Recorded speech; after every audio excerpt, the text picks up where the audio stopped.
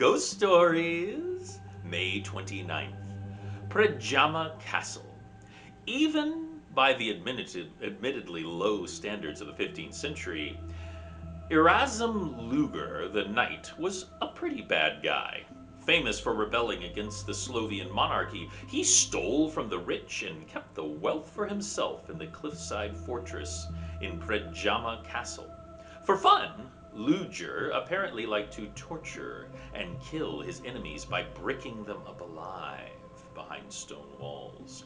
Others he would throw down 200 foot caverns.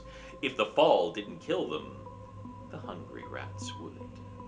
Lueger himself was betrayed by his servants during a siege. After giving away the location of his bathroom, that gave the signal to the enemy to fire a cannonball directly at where Lueger was relieving himself.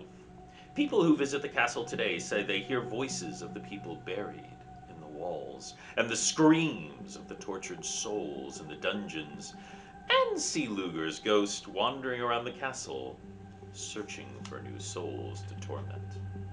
Or maybe he's just looking for the bathroom.